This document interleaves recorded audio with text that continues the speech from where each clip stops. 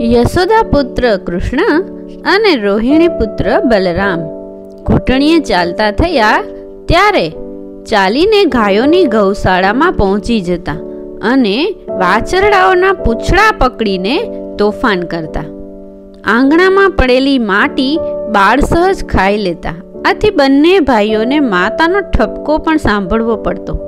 તેમ છતાં શ્રી કૃષ્ણ છુપાઈને માટી ખાવાનું ચાલુ રાખતા એક દિવસ યશોદાજીએ શ્રી કૃષ્ણને મોઢું ખોલાવી પૂછ્યું કે, બતાવ, તે માટી ખાધી છે કે કેમ?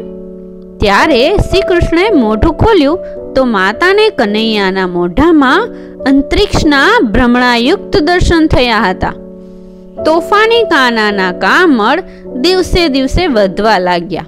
યશોદાજીને ઘરકામ છોડી કાનાની પાછળ જ રહેવું પડતું. આથી એક દિવસ યશોદાજી કનૈયાને ખીજાઈ દોરડા વડે ખાંડણીએ બાંધી દીધા.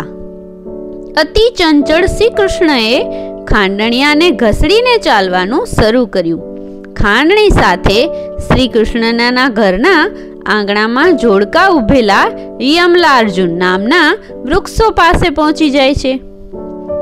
અને વિષ્ણુ પુરાણમાં આ વૃક્ષો વિશે કહેવાયું છે કે બંને વૃક્ષો પૂર્વજન્મના કુબેરના પુત્ર નલકુબેર અને મણિગ્રીવ હતા.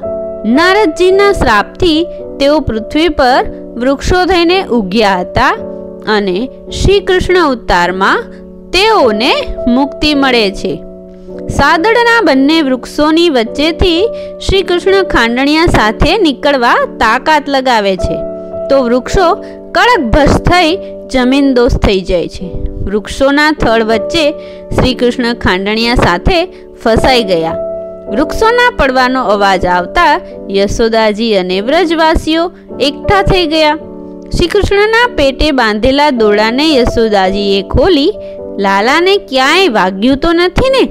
તે જોવા શ્રી કૃષ્ણના પેટે દોરડું બાંધ્યું એટલે કૃષ્ણ દામોદર કહેવાયા.